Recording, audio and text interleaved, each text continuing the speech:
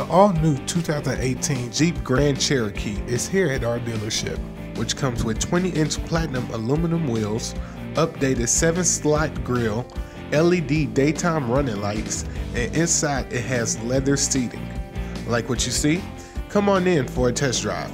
We hope to see you soon.